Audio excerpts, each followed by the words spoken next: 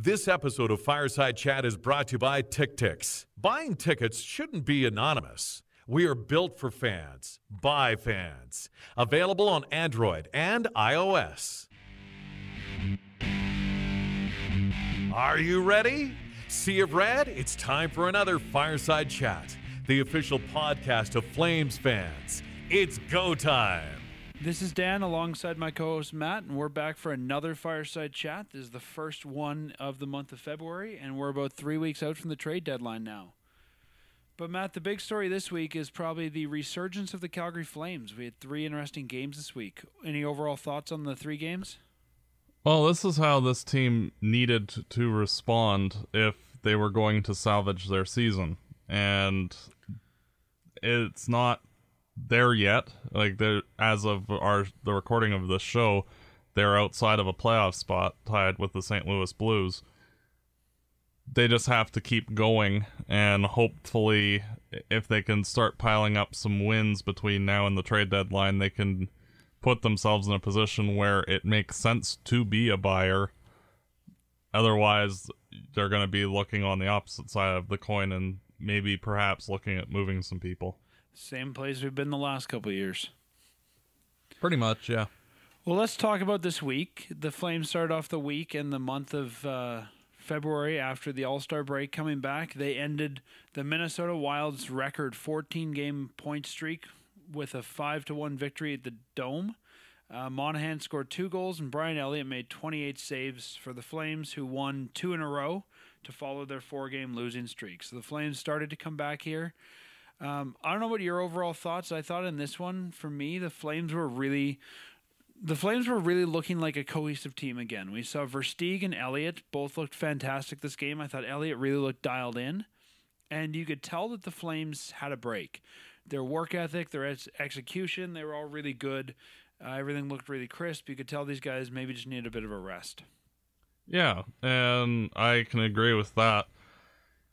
They just seem to play like when they're good, they can be as good as any team in the NHL. It's just finding the consistency for the players to actually play like that with any regularity. And we saw Monahan continue his hot streak with a pair of goals. It, once they get going and rolling on all cylinders, they can beat anybody, like the Minnesota Wild. And it's that's why it's so frustrating when they do struggle against teams and like the whole month of January where it was just pretty much constant throughout. It's frustrating because you know that these players have the ability to be a very good team. It's just for whatever reason they can't seem to have that consistency and effort from game to game or even period to period. Well, I'm looking forward to next year. I mean, if this team wants to be a you know, Stanley Cup playoff team or even a team that's going to go all the way to Stanley Cup finals, I think it's not so much roster moves we need to make anymore. There's a few, but I think the biggest thing this team needs to do is be more consistent. Oh, for sure. And like of course if you add uh, like say TJ Oshie and uh Karl Alzner just for sake of argument, like yeah, that's going to make your team better obviously. But the guys like Gaudreau, Monahan, Bennett, those guys have to be better on a game to game basis. And like Monahan has improved significantly this season. It's just when at the beginning of the year when he was performing so terribly, that's part of what contributed to the Flames' slow start, which put the Flames behind the eight ball. Where if they were playing well then as well, then perhaps the Flames are in a spot fighting with Edmonton and Anaheim for second or third in the division instead of fighting for their playoff lives. Yeah, and Monahan, as you mentioned, he's looking better. He had two goals in this game. Um, and the other goal scorers for the Flames were Alex Chase on Deryk Engelland and Michael Ferland. And, I, and you know, speaking of Ferland, I thought he's had a great week as well. Can't argue with you there. And so, it's good to see depth guys getting some contributions. I thought that Matt Stajan played well in both the Minnesota and New Jersey games, and yeah, I mean, you that's and I both the... really praised Stajan at the beginning of the season for his play, and to me, he kind of tapered off around November, December, and now I think we're starting to see him emerge again. Yeah, I, I'd agree with that. And it's one of those situations that a team, like if the Flames do go into cellar mode, uh, I'm sure that there are a number of teams that would look at a guy like Stajan. He scored that series winning goal a couple of years ago. He's a quality veteran guy, good in the room, well respected by pretty much everybody, can slot in anywhere. I'm sure that if that's how it went, that the Flames may be able to move him if they decide to go into full seller mode. Yeah, I don't know. I think the Flames might keep him just for exposure because they need to expose so many guys that played this season. True.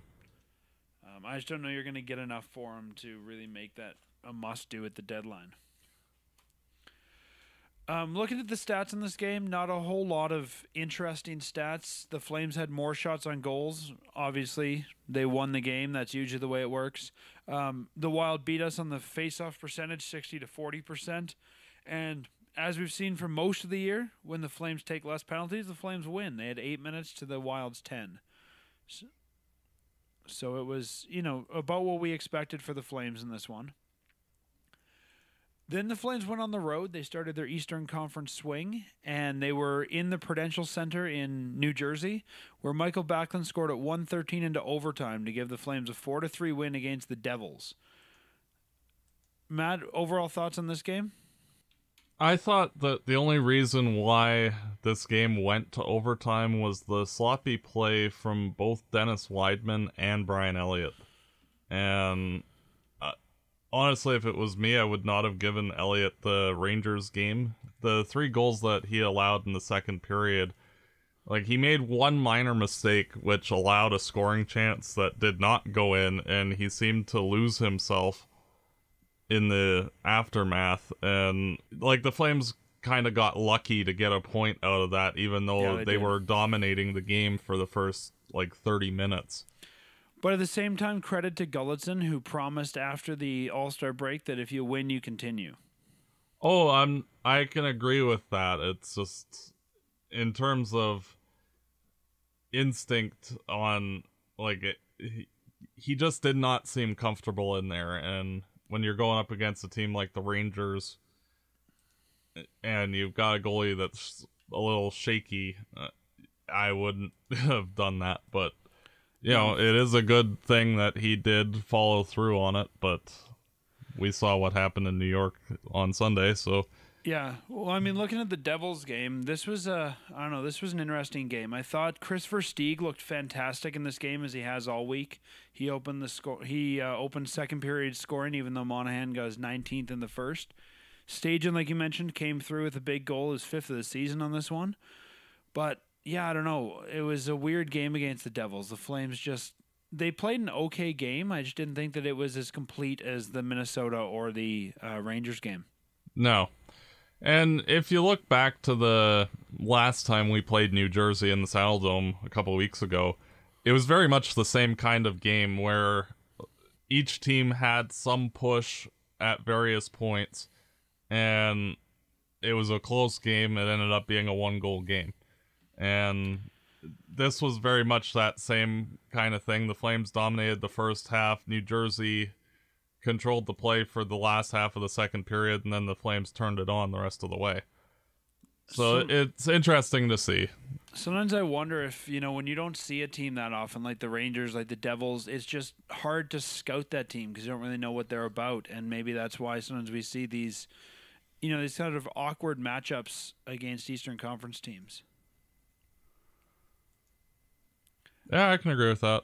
And then, it's one of those things that, especially if you've only got one or two players that you're even familiar with at all for playing in your division, like Camilleri and Taylor Hall. Like, okay, yeah, you know what those guys are about, but ev- you know, like say like uh, Wood, you wouldn't know him from any of the other guys, or you know any of their depth players. You wouldn't really understand their game because you've just never seen them. yeah. So I think It's sort of like a pitcher in baseball going from the National League to the American League. He can confuse a lot of people because they don't know what he throws. For sure. And I think that leads a lot into the last game of the week, the one that was on Super Bowl Sunday. It was a matinee game, which the Flames traditionally don't do well in. And they were on Broadway, taking on the Broadway Blue Shirts. The Flames lost, unfortunately, four to three to the Rangers in this one. And as weird as it sounds, Matt, I'm okay with this loss. oh, I, if you would have said to me that the Flames would have got four out of the six points, I would have been okay, sure, great, awesome. But So- not just the four, just the way they played, I'm okay with this loss. Yeah, The Rangers are a good team. We don't see them enough, like you mentioned. We don't know the Rangers, but they're a good hockey team. When you play them, you can feel that. And the Flames held their own against a good Rangers team. I thought the Flames played a very good first period. And I was glad to see, especially after the New Jersey game, Elliott was really emotional in this one. Like he was getting really angry at some points. Um, a lot of guys were getting emotional. We had some you know, some very emotional play on the ice, some chippiness, and some scrums after the whistle. And it was just nice to see, especially for a team that's not a rival, that the Flames are putting that much emotion into it. Oh no, and like Elliot, he's wanting to restore himself as being an elite goaltender and regain the starting position. And the fact that the sec or the third and the fourth goals should not have happened really.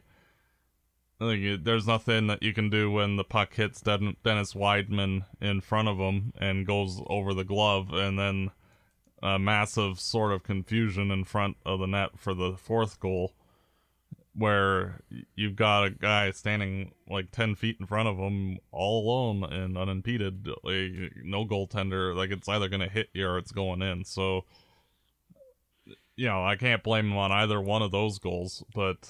And, and So like that- I can understand why he was pissed off because now he's going to be on the bench, and if Johnson beats Pittsburgh, then he's going to be on the bench for another week and a bit, and until Johnson loses. So so what Matt's talking about is the system that Glen Gulutzan put in after the uh, the All Star break, saying that goalies will play till they lose. They'll play a game, and if they win it, they stay in. If they don't, they sit down. And Matt, I mean, I know that he has to honor that system, but after a game like this, if you were the coach, would you want to put Elliot back in there?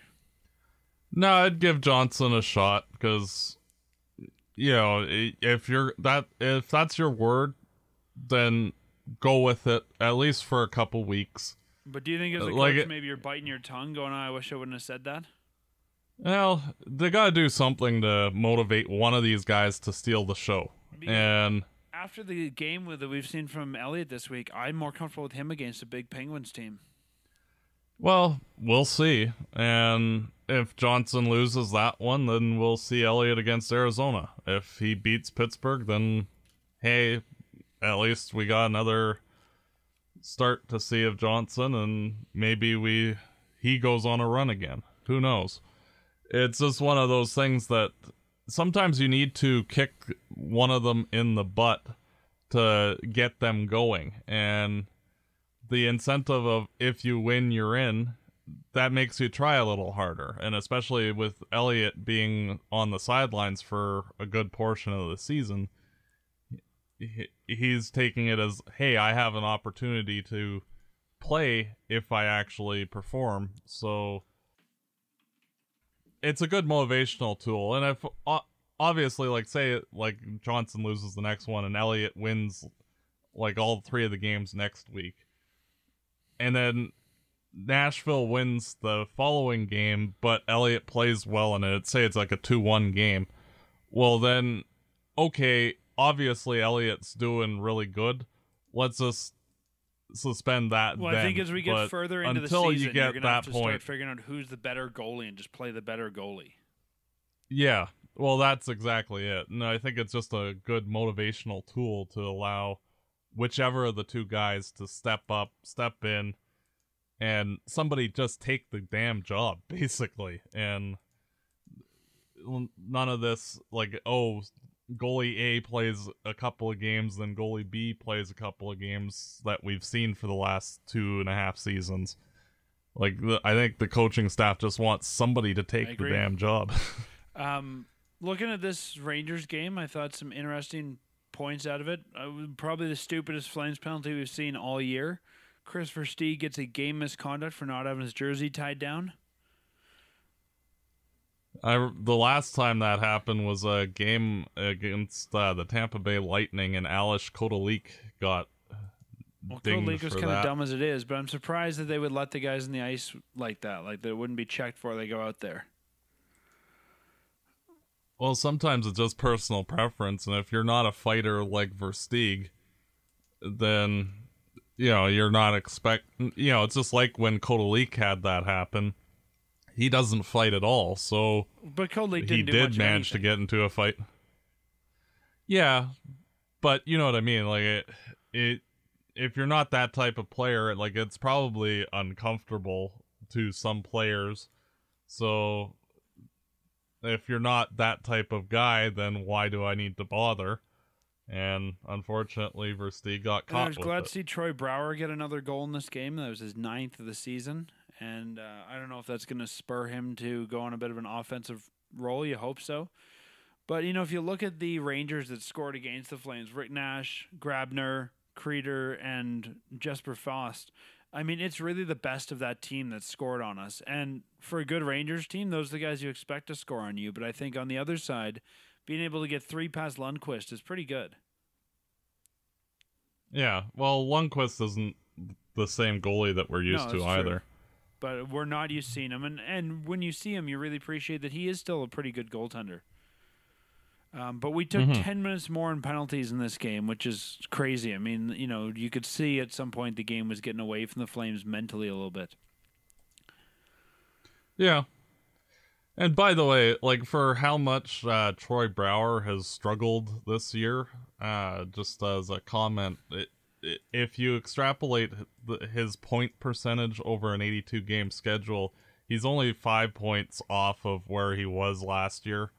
So he's a little less, but pretty much in line with what he is.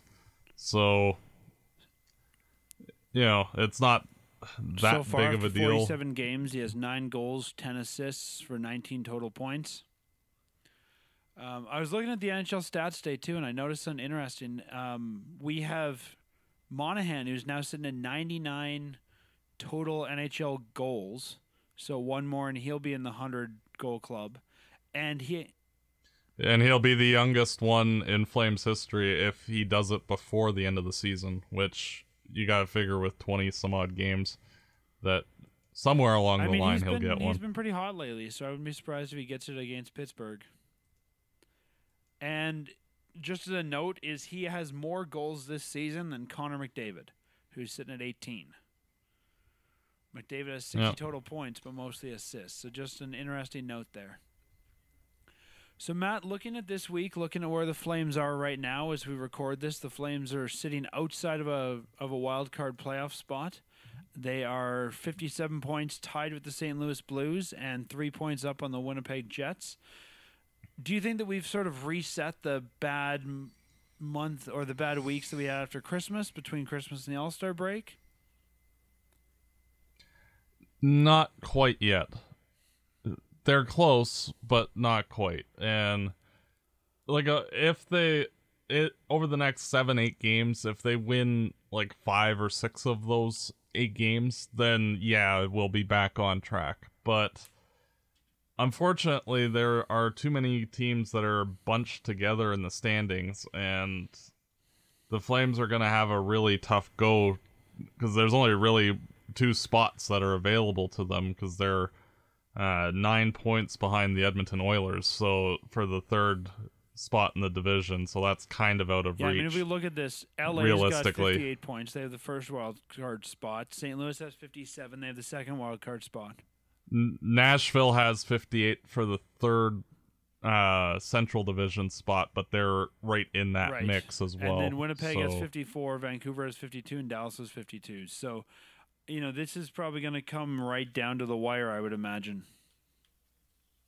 Yeah, and you look at the fact that Vancouver and Dallas have two, three and two games in hand. If they win those, then points wise, they're right where Calgary is. So it's one of those situations where, like, Calgary basically needs to go on a protracted winning streak sooner than later in order to sort of solidify a, a playoff spot. And the way I look at it is when you have what three, six, seven pl- teams fighting for three spots. You have to stay on your game.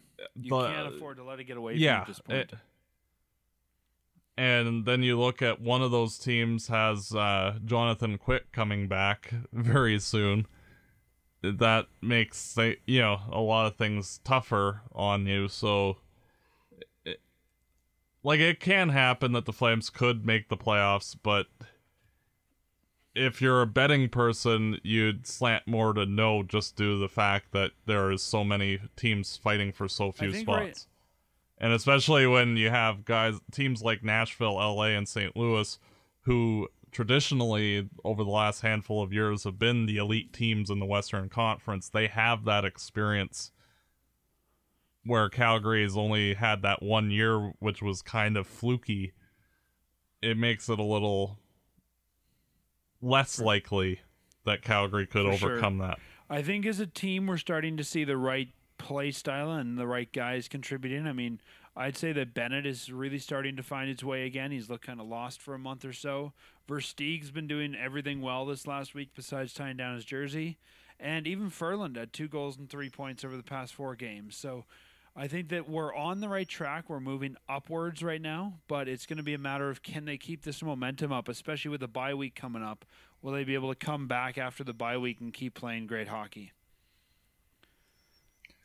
and that will be the key. Like, it, it, simply put, the Flames just need points. Period. End of story. And if they're not going to get these points, like especially with the competition over the next little bit, like uh, after the Pittsburgh game, they play Arizona, who's terrible. Uh, they're playing Philadelphia, who is in the uh, one of the wild card spots in the East. Vancouver, who's below us, Nashville, who's one point ahead of Calgary, uh, Tampa, who's the worst team in the Eastern Conference, and Florida, who is out of a playoff spot, and then Carolina, Well, if you look at the next eight spot. games, we So- we can't give up points in four of them. No.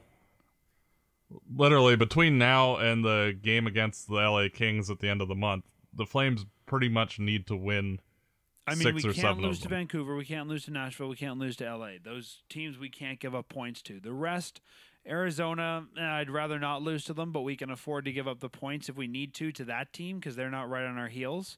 The rest are Eastern Conference teams. Doesn't matter, you know, if they get a loser point or whatever they might get. But you cannot lose to Vancouver, Nashville, LA because you're going to give them a point that might help them surpass you. Exactly. And things get really tight. Uh, and if they're not getting at least a dozen points in the, those eight games prior to the LA Kings game at the end of the month, then you the team is better off just selling off. Unfortunately. Yeah, and- and I mean, we've got some time to figure that out, but yeah, Brad Treliving's going to have to probably make up his mind by about the 20, you know, 25th, somewhere around there. But I think that this break might be a good timing for the Flames. They're going to take a five day break here, a bye week after the Pittsburgh game, and hopefully it'll get them rested up. And they've got a wicked schedule in March. So hopefully that'll rest them up, fix some of the dings and bruises, and they'll come back ready to play. Yeah. Well, by the time they play the Florida Panthers again, that's pretty much it. So, and the and things should be clear by then anyway.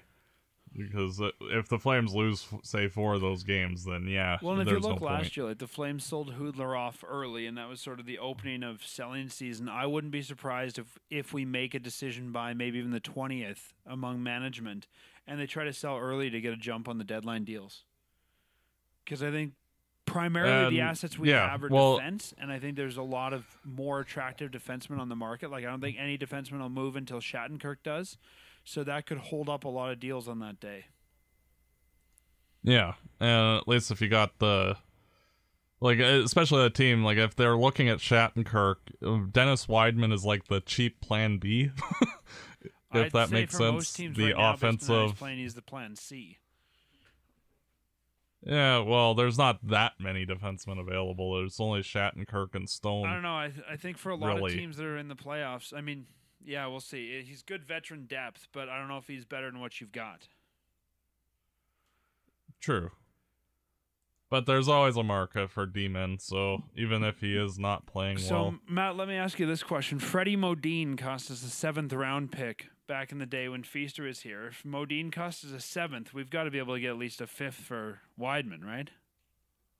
oh yeah, easily. Uh, uh, honestly, I wouldn't be shocked if the Flames got a second for Wideman, just because defensemen are always over So valued think at the deadline. Like, look at what we got for Russell last year. Like, if you would have said we would have got a former second round pick, a second round pick, and a six seven defenseman that's only twenty four, I think everybody would have laughed and said, "Yeah, right." For Kris Russell, so it, I wouldn't be shocked if the Flames got a second or a third. It just depends on the needs of the team Yeah, we'll acquiring see. him.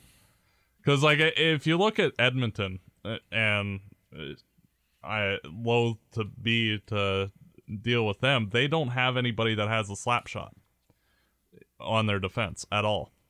I think Edmonton might overpay uh, for Shattenkirk. if you. Well, I don't know as if they'd want to for a rental, like pay what Shattenkirk will give them. But uh if you look at Wideman there, well, Russell and Wideman played together, and they, they had chemistry for all those years that they were together. So it would make some sense from that perspective, especially because it does look like Edmonton will finally break their drought and make the playoffs for once. It that would actually make some sense, and a late second round pick to them, it's a lot, but it's not that big a deal. So, if put it this way, that of all the teams that are in the playoffs, the one that I think actually makes the most sense as a destination for Wideman is Edmonton. Yeah, we've said that for a while that we could see him going to Edmonton. Um, I uh, earlier in the season I thought that Tampa Bay might be a destination, but they've really fallen hard lately. But you know, looking look, Yeah, right into dead Exactly. last. Like, what happened to them? um, but Glad we didn't pay overpay to get Ben Bishop. for What- sure. But you know that they'll be selling them at the deadline now. Oh yeah, Um, but if I look at some of the teams that we're playing over the next week, and I mean, we'll talk more about the deadline as we get closer, but Nashville, um, you know, LA, even Vancouver, I could see one of those teams potentially making a run for Wideman as well to bolster some veteran depth on the blue line. So we might have sort of an audition period coming up. yep. Matt, we talked about the last week of Flames hockey, but why don't we pick up the discussion that we've been having about unrestricted free agents with this team? We've talked about the forwards and the defense so far. Now, why don't we talk a little bit about the masked men, the guys in net? Um, we're in a unique situation in that both of our pro goalies have no contract after this year. The Flames went out and had to sign Tom McCollum, a farm team third stringer, just to have a goalie to protect in the in the uh, entry or the expansion draft, possibly. So we've got Brian Elliott making 2.5 million right now. We got Chad Johnson making 1.7 million. We've got some players um, on the farm who are looking good. You know, we've got we've got um, Gillies down there. Even Rittich is looking good. Matt, if you're the GM, what do you do in net next year? Well, for starters, we just look at how each of the goaltenders play between now and the end of the season. Because, say, like Brian Elliott, he's played well. If he, when he gets back in net, continues to play like that, then you look at re signing him. If each of the goaltenders continue their struggles, then perhaps you just keep Johnson and find somebody else. And with there being a number of UFA goaltenders available, like Ben Bishop, uh, Steve Mason, Michael Neuvirth, you could probably get Yaroslav Halak for cheap. Didn't Halak clear Uh, Ryan? Miller. Yeah, it's just that the Islanders didn't want him in the NHL for whatever reason, but um, there is options available if you're not, and you could also trade obviously for somebody, but there are options that are available including just having one of the prospects come up. Right now, do you think it's worth the Flames trading, let's say, for Bishop as a rental at the deadline? Not at all. I wouldn't make a trade for a goaltender at the deadline. I, I I would be more likely to sell one of the goaltenders than I would to buy one. Interesting.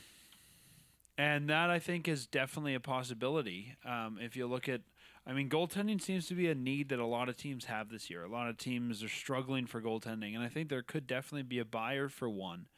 And that's where you have to decide who are you going to sell off if you're going to sell one off.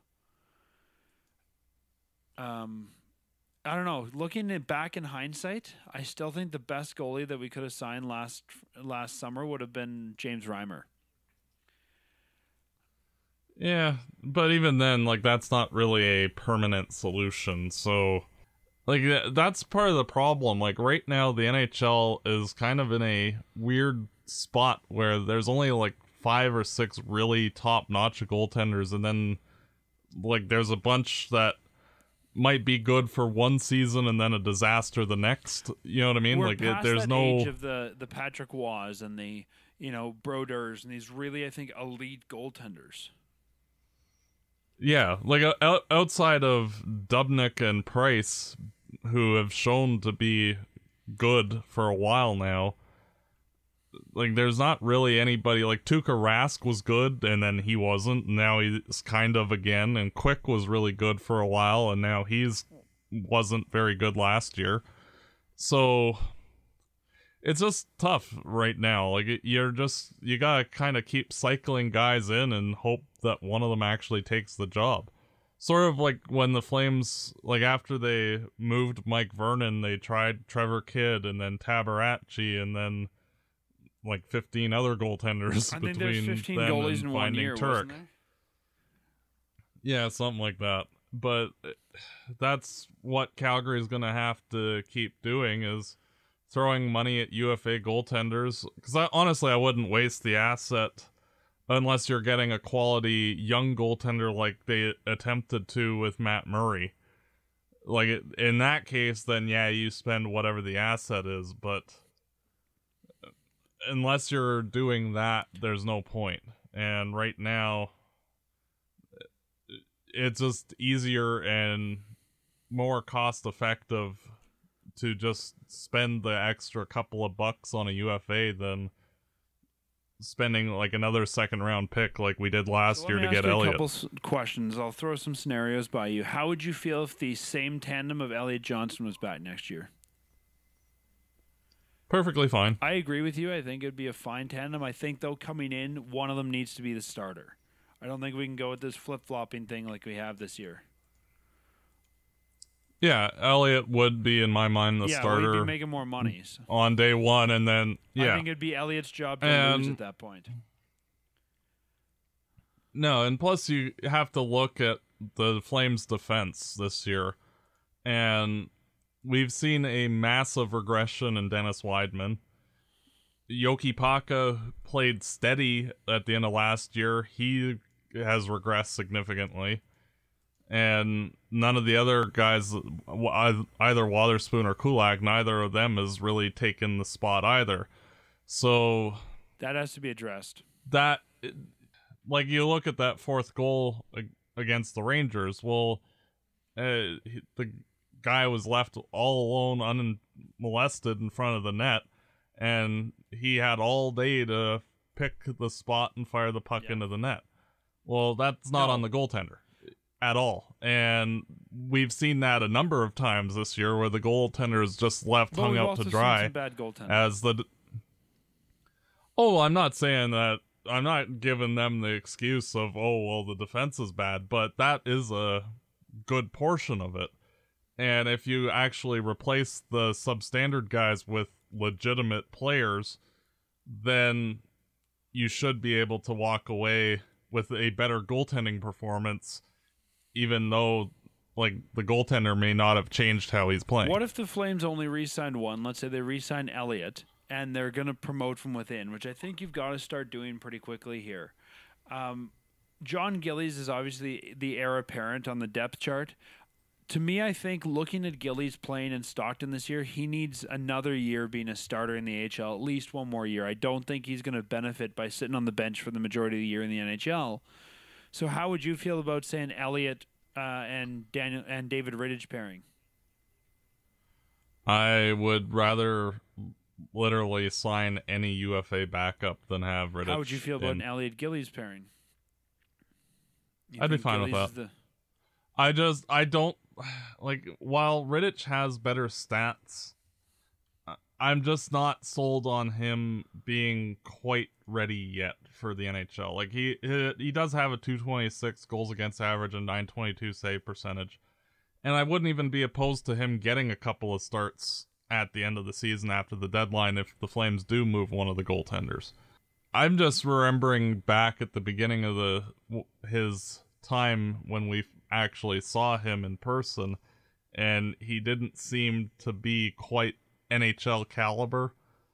And I don't know. I'm just a little reticent to see him facing NHL action full time as like the guy fair, when you and as I the first backup. saw him, he was new to North America. Is new to the style game. I think that you really need to see him in person again to really evaluate him after one full North. Oh, I agree. That's why, like, I, yeah. Well, that's why I wouldn't mind seeing him getting a couple of games if the Flames do move one of the goaltenders, just to see. I actually wouldn't mind seeing both the the two goalies get a game or two, just to see what they have at, at the NHL level. Anytime that you sign a UFA guy from Europe, it it's a little questionable because like we all remember Reto Berra and he was decent, but but he not very good. Second round pick. True, but uh, how would you say it? When it comes to goaltenders, I don't want to have one of the two guys being an if and a maybe. You know what I mean? Like you need to have somebody that's legitimately competent back there, Okay, so just in case. Like we don't have a clear cut number one. That's the problem. Like if we had a legit number one, like a new Kipper, then sure, throw Rittich in. If he only plays seven, eight games that year, who cares? But you know, you're wanting your backup likely to play 25, 30, 40 games. Uh, Do you really want somebody unproven at all to so be let me the ask guy? you this then: Do you think that realistically, um, do you think Jon Gillies is ready to, and do you think it's best for his development at this point to play an NHL backup role? Uh, yeah. I wouldn't mind him getting a handful of games just so that way he can learn that like this is what you need to do And I at think the if we deal NHL level. goaltender at this year's deadline, he'll be the first guy called up. But I just don't want him sitting on the bench for most of next year. I want him in the AHL playing hockey. No, cuz yeah, cuz like he's only played 27 games since the beginning of last season. I mean, as a fan, so I want to see him in Calgary, but as an analyst and someone who's really trying to evaluate this team, I think he needs more AHL time. He needs to get more professional games under his belt. Yeah, and uh yeah, like, if he did wasn't injured last year, then I'd say yeah, he's ready. It's just not quite yet. It, it it's one of those situations like with Anaheim when they had Frederik Andersen and John Gibson. If you have somebody who's a legit number 1 that you know you can play 55 60 games no problem. And you can have the the younger guy play 20 25 games and that's okay. Perhaps that would be okay for gillies but uh yeah i i agree with you. I don't think he's quite so ready in that case, that. then I think we both settled on needing two NHL seasoned goaltenders. Um, Elliott and Johnson is a fine pairing, but let's go through some of the other UFAs here and see what you'd think of bringing them in, and then I'll give my thoughts. Um, an unrestricted free agent out of our rivals in Vancouver, Ryan Miller. uninspiring but sure i guess Is he better than what we got? Like, uh, Do you want to uh, spend? He's making six million now. I think he probably makes about that. Would you rather say sign him for six or Elliott for let's say three five? Obviously i'd take the cheaper don't think goaltender it- uh, uh, he would be okay that much of like I. No, he's just a solid number one. Not a good number one, just a solid number one. Um, the guy that I think on July 1st is going to get the most money, Ben Bishop, the 30-year-old goaltender out of Tampa. He's making 5.95 million now. I think you're going to see this guy make like eight, eight and a half. Some poor sap's going to pay it. Yeah, I don't want to touch Bishop at all. Uh, large goaltenders that, like, uh, I know it's unfair to Bishop, but he reminds me a lot of Jonas Hiller, where, like, the puck hits him versus him making the saves. And, like, especially with the NHL reducing the size of the equipment, I'm very worried that he is going to see a lot of regression because of that. And, like, he's already having a bad season add that on top and like I could see him be a bolt anchor of a contract to any team that signs yeah, him. I think I'd, right. I would just rather pass entirely on All right, Bishop. I'll go through some other names here, and you just tell me yes or no. Jonathan Bernier, As a backup, sure. Steve Mason, As a backup, sure. Ondrej Pavelec. No. Uh, do you think either of those guys, Bernier or Mason, you'd sign over Johnson? Johnson's obviously going to be the cheaper option. I'd ta- I'd keep Johnson ahead of those two. What about um? What about Michael Neuvirth? Uh, not a bad option, but not inspiring either. Uh, again, a backup. And if you keep one of, like, say you keep Johnson, and you sign, say, Mason or Neuvirth or any of the those backup guys, that'd be okay. Like, there's nothing Yeah, terribly wrong. I, I just think with the cost of acquisition and the fact that he's the veteran, we have to give Elliott another shot. I think if you're gonna keep one, you'll probably keep Elliott. I think at the deadline, you'll keep whoever you can. You'll trade whichever one has the most value, but you could always bring that guy back in the off season too. But I think of the two, they'll keep Elliott. Elliott has the proven track record.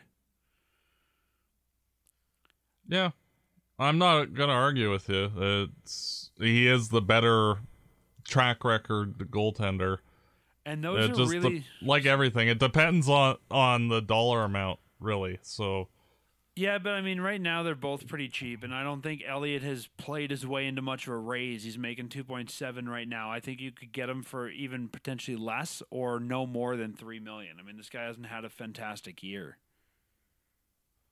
and that's maybe the good thing Yeah. about both our goalies is you can probably get them for relatively cheap. yeah, and like as I mentioned before with Yaroslav Halak, uh, he's got one year left on his contract, and I'm sure the Flames could acquire him for a buck, uh, bucket full of pucks or something yeah, well, they like could that. just had Like, him for free. Yeah. So, you know, and his contract's only four and a half, so that's not too bad.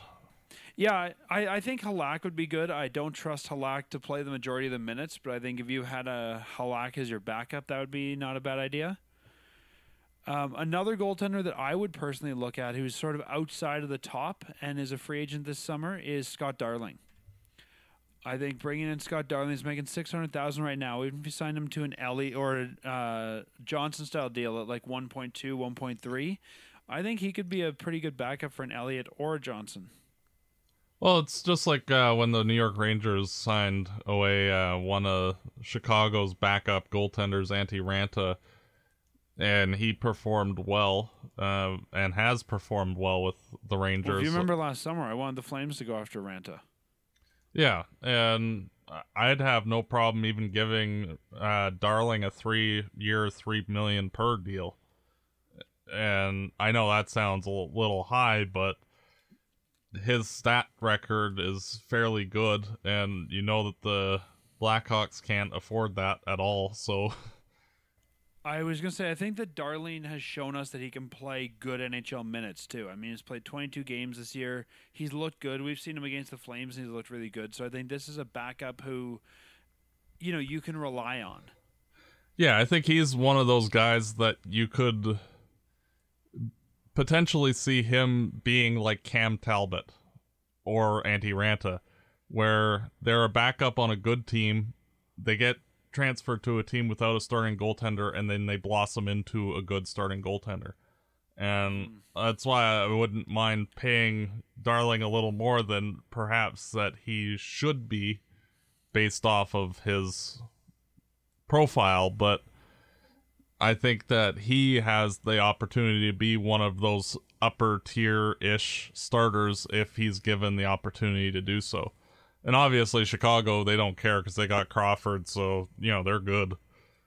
so, like, they just need Yeah. somebody to be at the backup. They don't really care who it is.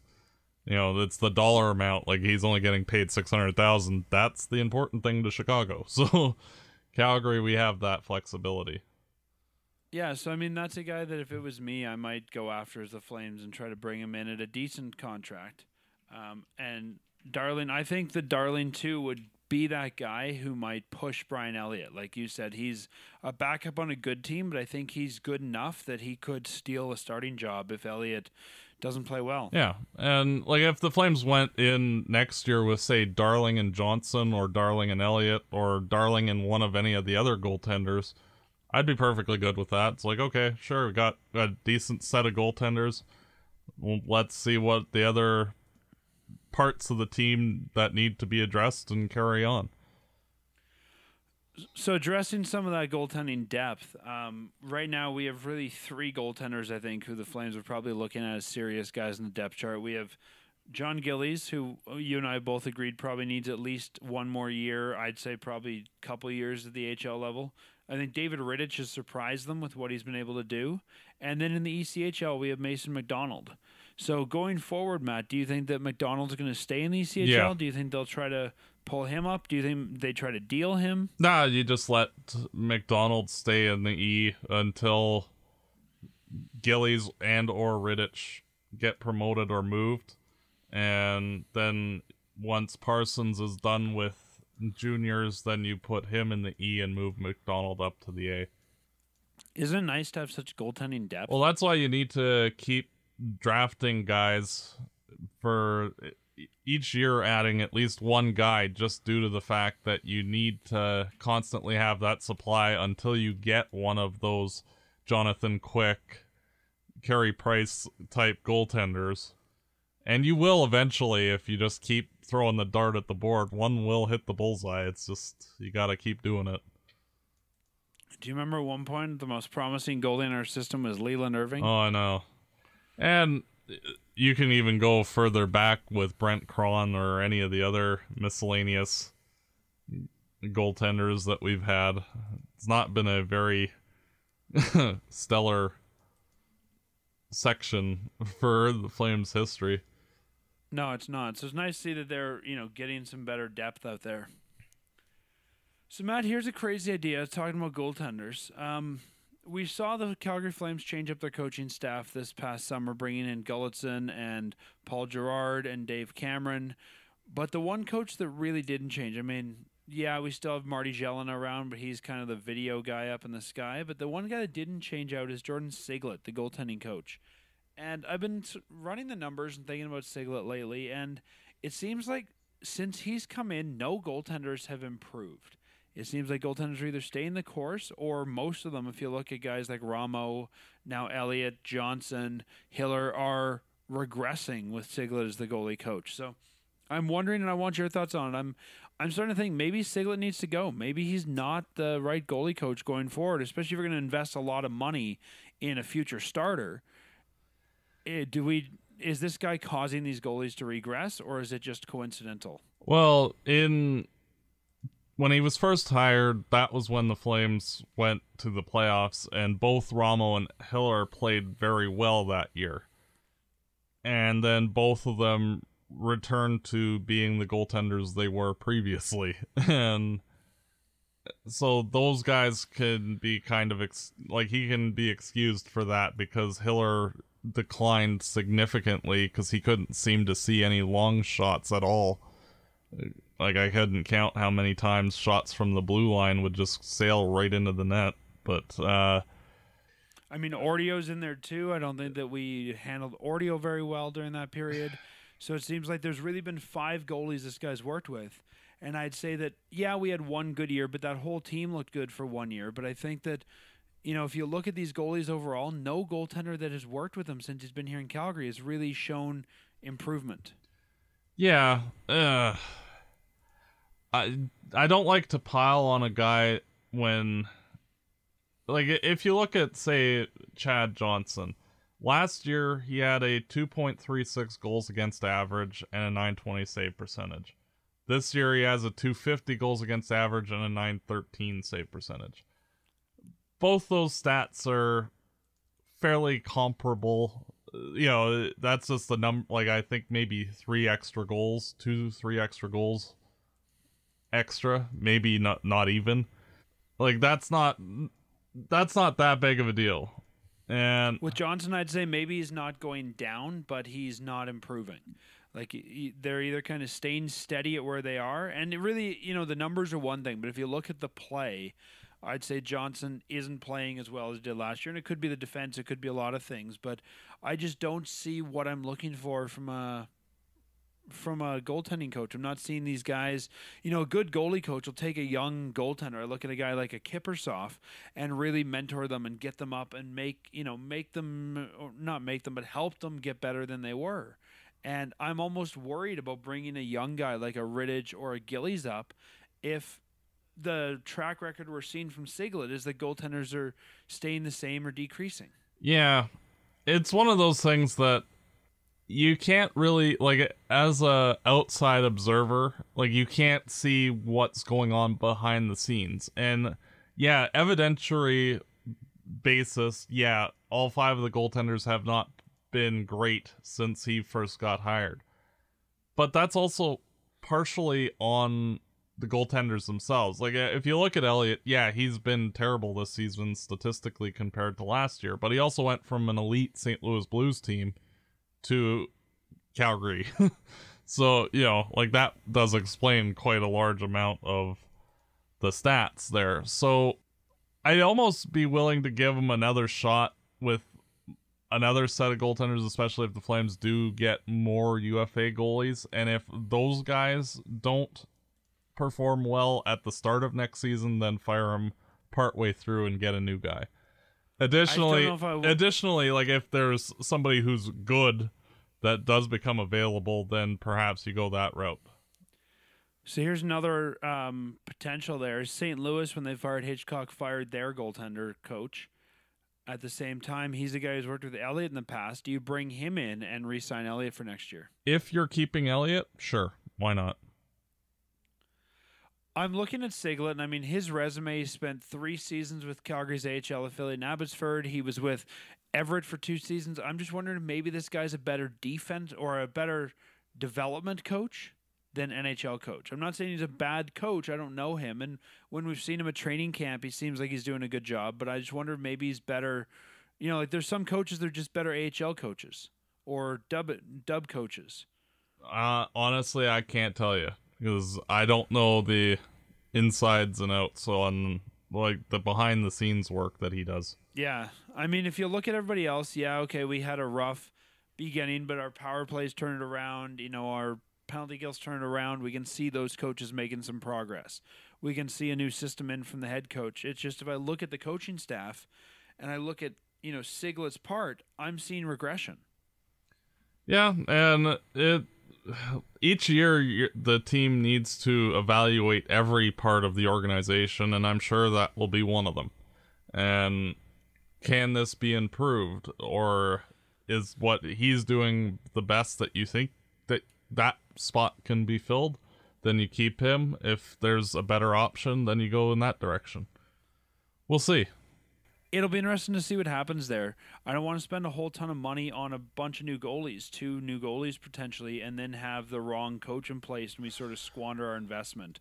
So I think, yeah, if they're going to bring back Elliott, maybe you look at St. Louis's goalie coach who just got released. If not, I think they really have to ask: Is Sigalet the best guy? Do we give someone new a shot? I mean, to me, Malarchuk was a great goalie coach, and since that, maybe it's just comparing one to the other. But Malarchuk always seemed to be a great goalie coach, know what he was doing, and there's got to be somebody else like that out there as well that's un, unemployed or unemployed at the NHL level who we could replace.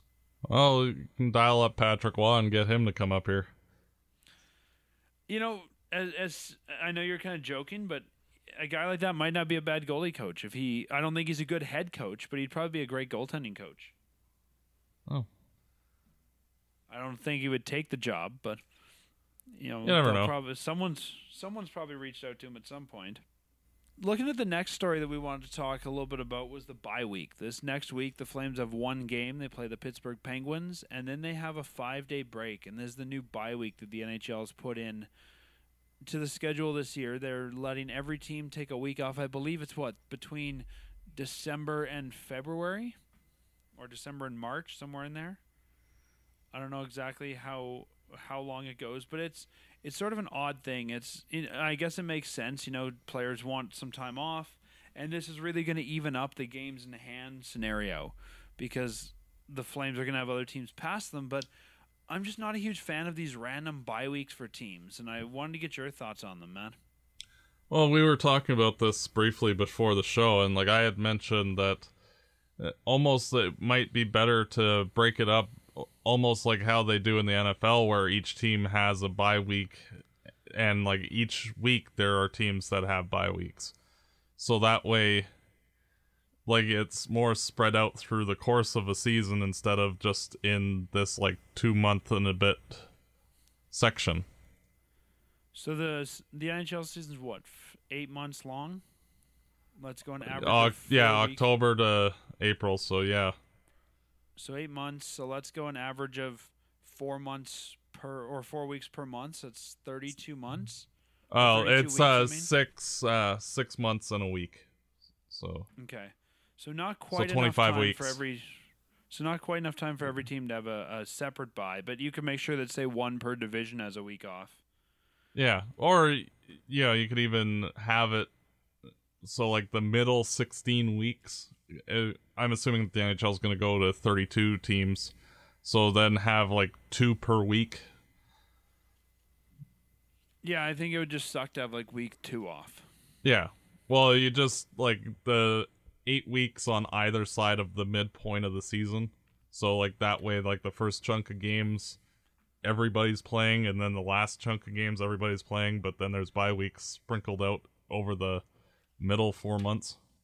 Yeah, you could do that. I guess I've always looked at the All Star game at the halfway point of the season. What about you? A little bit later then, but yeah. But if we kind of use that as a guide, I wonder if it would almost make sense just shut the league down for a week. Let's say right before or right after the All Star game. You can do more All Star festivities. The players often go away for that weekend, anyways. You heard about you know some of the Flames going to Mexico and other places. If it were me, I'd almost just say shut the league down for a week, give every team a bye, and you know at the end of the bye week or at the beginning, either way is the All Star game. I'd almost do it at the beginning, and then the guys can rest for a week. But it just, I don't know, it seems kind of weird that you've got these bye weeks. Now our team might be playing a tired team, or our team might be playing a well rested team. I'd almost say just shut the whole league down. Yeah. I know they don't honestly, like if it was up to me, honestly, I'd just scrap the bye week entirely. But you know, Well, It it's is a new thing, and we don't know how long it'll last. And you know, I think this is sort of uh, in response to not having the Olympic break and that sort of thing. And I figure if they want to put it in, I'm not opposed to the idea of having a break. I think you know, with 82 games over a season, that's a lot of hockey. But I just, I kind of wish it would be fair for everybody. Like, let's make sure that by, you know, the All Star game, everyone's played roughly half their games and then take a week off for the league, I think they could make a lot of money. They could do all star festivities all week. They could have more sort of like there's so much stuff packed into a weekend if you look at it. Like this year, there was the alumni game and the skills competition and the all star game and all. I know, like honestly, like you could have it set up where like your outdoor games, you could have a couple, like one per day type of thing in that bye week. Yeah, but that wouldn't be a bye week then. I know those team two teams would have like an extra day or something at the end or whatever. You know what I mean? Yeah, but I mean, even if you did say the you know skills competition one day, and you did the um, you know the uh, alumni game the next day, and the all star game, and then the you know the press conference or the whatever else they're doing that week, and you could almost span it over a week, they could make that all star game a lot better. I look at other sports and other entertainment platforms like the Super Bowl is almost a week long hype up to the Super Bowl. Even the All Star game, the Pro Bowl, is a week long hype up to it. Um, you know, I look at things like the WWE. I know it's very different with WrestleMania. They've got a week long build up to it. Like I just think that having that build up could really help the NHL with visibility. We don't have the same kind of excitement around the Stanley Cup game often because they're playing so many games in a row. You don't have that week long build up to game 4 or 5 or 6 or 7 usually. So I just I don't know. I'm just thinking that might be the f- most fair for everybody. Is just give it shut the league, the league down for a week. I mean, in Olympic years they shut it down for what like two and a half weeks almost. Yeah. So you know it couldn't hurt to shut down for a week. And if everyone's doing it, in fact, it might even help you because some of the owners could pack that week with concerts from their venues. So that that's just my thoughts on the bye week. I think the idea is not bad, but I think that it's it needs to be rethought a little bit. But let's hope the Flames benefit from theirs, which is coming up uh, starting on the 8th and going through the 12th of this month. So, Matt, looking at the schedule for the Flames after that bye week um, through February, March, and April, this team's going to have a bit of a tough schedule. We talked a little bit about the eight games left in February, half of them against Western teams and half of them against the East. And then if you look at March, they're literally playing every other day for a good portion of the month, from about the 9th to the 31st. And there's a lot of good teams in there. What do you think? Yeah. Do you think that the Well- Flames can keep their momentum through that month? Well, if you look at the next 21 games, which takes you all the way to March 27th, of those, only nine of them are against teams that are in the playoffs right now. And four of those are on the 19th, 21st, 23rd, and 25th of March. So the Flames are playing most of their games. It they're against lesser opponents that are in dogfights in the their own playoff races, but are mostly on the outside looking in. So, like in February, only the Penguins game, the Nashville game, and the LA game are against playoff teams, and you just look at the rest of the teams and the Flames, if they're going to seize the opportunity to make the playoffs, those games against the inferior opponents, they have to basically mop the floor with them and hold their own against the actual playoff teams. Yeah, I mean, at this point, especially with so many games so close and so many teams chasing us, we have to be. I don't want to use the word, but we have to be perfect. More or less. Can't afford to lose two or three in a row.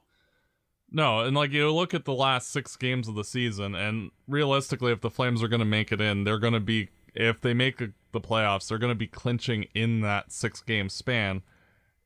The last six games are against L.A., San Jose, Anaheim, Anaheim, L.A., San Jose. And The- one of those is in Anaheim, so we know we're going to lose that one. pretty much. So all of that, it, it's gonna be tough, and the Flames basically have to have locked up or very close to have locked up a playoff spot before they hit that six game stretch, which means of the 21 games, they probably have to win 14 of them. so not exactly the easiest task to do, but it's what they'll need in order to actually get into the postseason.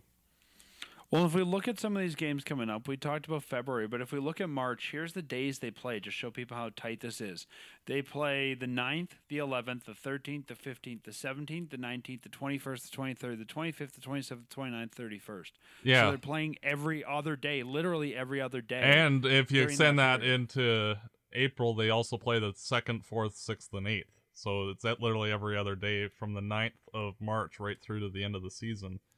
And we also play on the 3rd and 5th of March, having a three day break, and that's when the every other day right through the end. So it's going to be a grueling March for the team. And I think, you know, if you look at these games, there's a lot of games in March against the East. We've got Detroit, the Islanders, Montreal, Pittsburgh, Boston, Washington. But there's, going to be a lot of pivotal games here in terms of the Western Conference wildcard race. Uh, Winnipeg on the 11th, Dallas on the 17th, uh, Nashville on the 23rd, St. Louis on the 25th.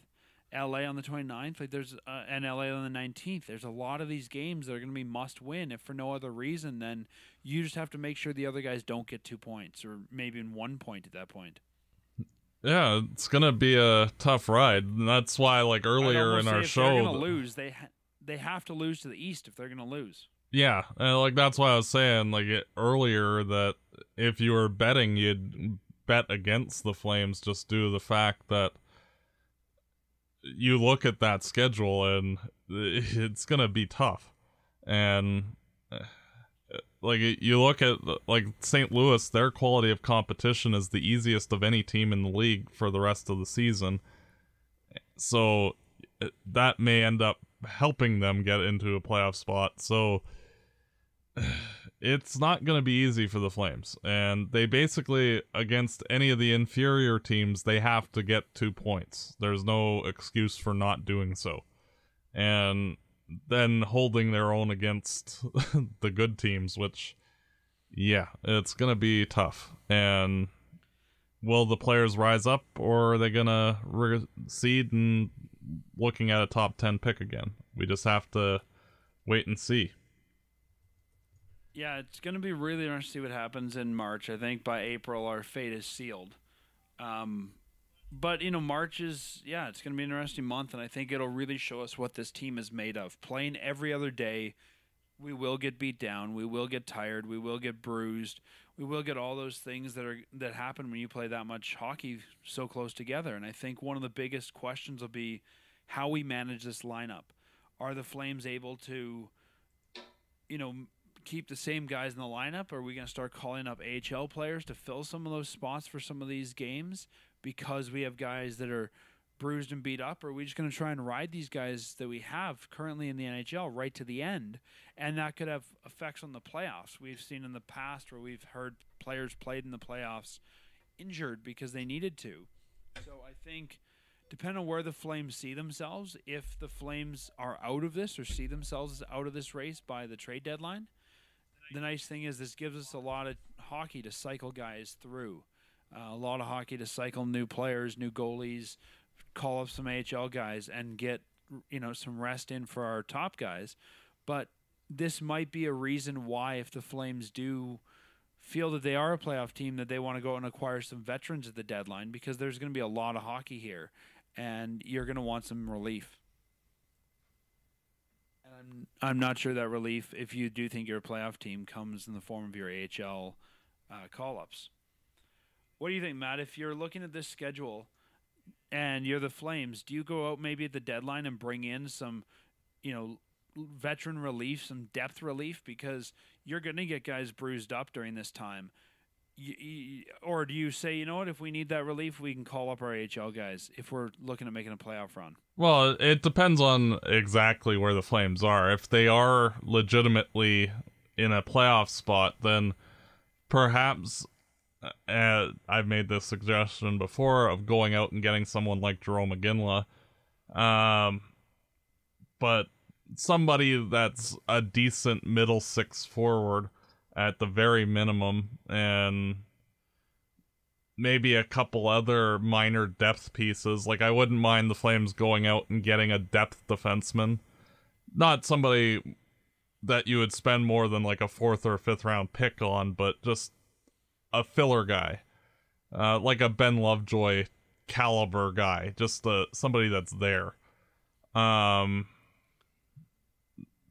just something like that. And, like I wouldn't. And if we're out, and if we're out of it, it gives us a lot of chance to audition AHL guys. I mean, with this much hockey, you could pull a guy up for you know a week. He plays three games, you send him back down. Oh, for sure. Like uh, if the Flames are out of it and in cellar mode, then Jankowski finishes the season here. Shinkaruk's probably up as well. Kylington and Andersson probably get short periods. Gillies might. Like uh, you could just find a whole bunch of people that you could cycle in. Like I wouldn't be shocked if Klimchuk and Poirier got a couple of games in, and you know have a whole host of different guys cycle through. And then it helps you too with resting some of your veterans. Yeah, yeah exactly. Like uh, you're not gonna care if, say, like Lance Bouma plays every game, if you need to audition some of the other kids. Yeah, I I don't know if Bouma will still be here after the deadline. We'll you see. know what I mean? Like it. I'm just inserting a random name. But I, I can't remember a time when we've had such a busy March and such a pivotal March for the Flames. Like usually we've kind of known we're either in it or out of it, and I think that really this one month of hockey could very easily make or break the Flames. Yeah. It'll be a, a learning experience for the team either way. Matt, let's move away from the Flames for a little bit and look around the league at some NHL news. We know the league is expanding to a 31st team this year, bringing in Las Vegas. And it made a lot of people scratch their heads why they were expanding and not relocating. And it's going to be really interesting to see what happens over the next couple years. We now have three teams who are pretty much in dire straits. We know that the Hurricanes ownership wants to get out. We saw this week that the Coyotes' new arena in Tempe, Arizona is on the rocks, and the Islanders are being kicked out of the Barclays Center, like you were mentioning last week. So, with three teams who are pretty much going to be potentially homeless, do you think now, looking back, that it was a poor decision for the league to expand and give a 31st team to Vegas? They should have moved one. And what do you think the future of these three teams is going to be? Well, I think that it, was a good decision to expand to Las Vegas regardless the fact that you have several cities that could viably hold an NHL team, like say there have been rumors with Carolina moving to Quebec City, that would make sense. The Islanders, I think, even if they needed to play out of the Prudential Center until they in New Jersey for a little while until they figure out exactly what to do, that might be a viable solution until they can get their new arena built a new arena built or the old one renovated. And Arizona, honestly, who knows? Uh, you could, if you needed to, I think you could relocate them to Houston or Kansas City. I think they both have facilities that would work in a pinch. Yeah, it sounds like Kansas City is going to be Vegas's AHL team, so they'll probably be using that facility. I don't think you could support two teams there. No, well, obviously, if Kansas got an NHL team, then the farm team would go away. But um, yeah. So, I, like, I don't know what the arena situation is, but just geographically, I still think that C- that Seattle would be a good market. Yeah, and if you're gonna have a secondary expansion teams, I think Seattle makes sense. It, it's just figuring I out. can't see them expanding again when you've got three teams on the rocks. Like you've got to stabilize everybody before you bring in a 31st team or 32nd team. I yeah, guess. well, I think just out of balance, I think that's the reason why they'd want the 32nd team and like moving Carolina to Quebec is no big deal. I don't think the New York Islanders are going anywhere cuz New York can handle having three teams. So like there's no problem there. It's just a matter of figuring out a long-term where do you actually play the games. And Arizona, you could shift them anywhere whether you're keeping them in Arizona, just shifting them in the city, or I think by this door. point we've kind of realized that the Arizona experiment didn't work. Well, I'm not fully sold on that actually. I think that having it in Glendale was stupid uh, in the first place, but when they were in downtown Phoenix, it was perfectly fine. The the crowds were good. It's just they moved them out into the suburbs and the attendance went down. I think we'll see the Coyotes move to. As much as I'd like to see them in Seattle, I think we'll see them move to Houston. I think the Hurricanes will move to Quebec City. And I think you're right that the Islanders figure something out in New York. I don't know that Charles, what's his name? Charles Wang is the right owner going forward, but I think you might see a new team come in and take over that team. Yeah, and regardless, like I think, like even if they just played out of New Jersey's arena for a couple seasons until they do proper renovations on the Nassau Coliseum, or just tear the building down and rebuild it, one or the other. Like there, there is a viable option. It's just figuring it out. It's not like there's nothing wrong with the team being where it was. It's just figuring out They've run into arena problems. yeah, and that's just more figuring out the logistics of making it work rather than it being a problem. It's not like Carolina Yeah. where there's not really a fan base or Arizona it, where it's located not having a proper fan base. Like there is a fan base for the Islanders. It's just getting it to work. Yeah, there's a fan base there for sure, and it's also a storied franchise. I mean, the Islanders have some cups. They've had some, you know, really great players there over the years. They've had some not so great players, but the, it's a storied franchise. And if you look really at the Coyotes and the Hurricanes, there's really not a lot of story to those franchises. So I think, you know, it's like Atlanta when they moved to Winnipeg. It's like nobody really cared. It was a dying franchise that people were happy to get rid of, and it's had new life in Winnipeg. And I think that really shows the NHL that sometimes relocation, as much as they're always so not wanting to relocate, relocation can be a good thing when it's done right. And Winnipeg's doing really well these days. Yeah, and say taking the team out of Carolina and moving it to Quebec well, you're you're going to be going from a building that is rarely above the league average in attendance to one that the building's going to be packed every single game. So, and they'll renew the rivalry with Montreal, which and Canadian teams generate more than a third of the revenue in the NHL anyway, so it's a win-win. The question then becomes if you're the Vegas owner I mean, you know, you're going to have an expansion draft roster. Do you almost look at this and wish that you could have just relocated? Would you rather have a Coyotes or a Hurricanes roster and personnel in place? No, not at all.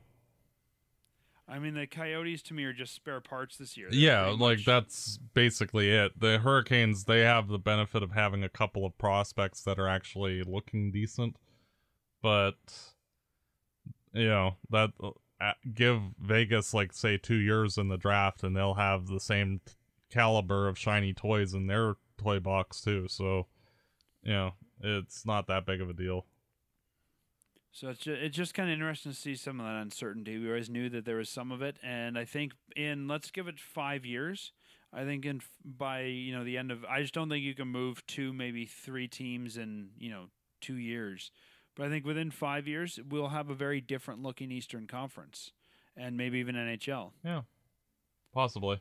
Because, um, because I mean, if the Hurricanes move to Quebec, that would still be Eastern Conference.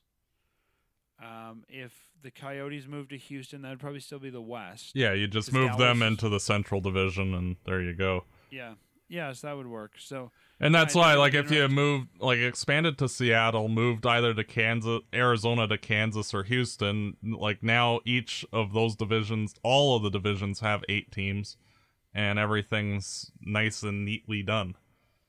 So, it's there it's a viable way to do it. Yeah, you just got to make sure that the market you're moving to is viable. And I haven't done enough research to know if Kansas is still a viable market or not. No, Oh, oh, of course. Like you'd have to figure out all the details, but at least there, it's a viable option to look at one of those two places. Yeah, I think those are really the only places left. I mean, remember when Balsillie tried to do the uh, expansion to Hamilton, or not the expansion? The yeah, the Hamilton relocation, and I really think that there's only probably one viable Canadian market right now, which is Quebec City. Yeah, same here or a second Toronto team, but do you really want to do that? So, uh, yeah, I don't, I don't know that that's gonna fly that well. No. Well, let's let's uh, take a look ahead. If there's nothing else you want to talk about, sounds good to me.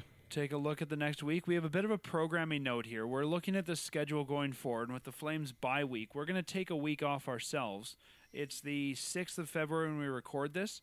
We're going to skip our show on the 13th, which is right after the bye week because there's nothing to talk about there and we will come back on the 20th of February, which will give us uh, pretty much four games to discuss in that period, and that's when we'll start looking ahead to the trade deadline as well. So instead of having instead of doing a show discussing one game and what the players did during their week off, we're just going to take a week off ourselves, take a bit of a bye week. The Podcasters Association said it's our bye week, and uh, and go from there and come back on the 20th. So there will be no show next week on the which will be released on the 15th on the Wednesday.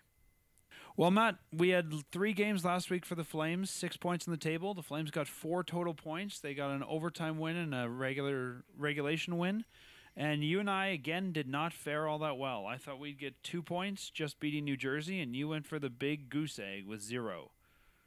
Hey, I don't mind. I'm glad I wasn't right. so, well, and that's your third goose egg you've predicted this season. Yeah, well, get overly negative when the team plays as badly as they had previously. There you go. So the Flames, uh, before our next show on the 20th, the Flames have four games. They play the Pittsburgh Penguins in Pittsburgh, uh, 5 p.m. start time on the 7th of February. Then they're off on the 8th, 9th, 10th, 11th, and 12th. Then they're back in the dome for two games. On Monday the 13th, they take on the Arizona Coyotes, 7 p.m. start time, and on the 15th, they take on the Philadelphia Flyers with a 7:30 p.m. start time. Both of the dome, if you want to be there. Uh, you can get tickets from our friends at TickTix, which is available on Android or iOS. Great service. Then on the 18th, we take a small road trip. We just head up to Vancouver to take on our rivals, the Canucks. So, four games in the docket. That's four games over the next week and a half, really, two weeks. So, nice, easy schedule for the Flames there in terms of the number of games. What do you think for the result, Matt? Well, I'm gonna go with instead of picking what I think it, the team will get, I'm gonna go with what they need to get, and that's six points. You think they need six of the eight? Yeah, I think they'll only get four, but I'm going with six because that's what they need. So, who do you think they lose to? Pittsburgh.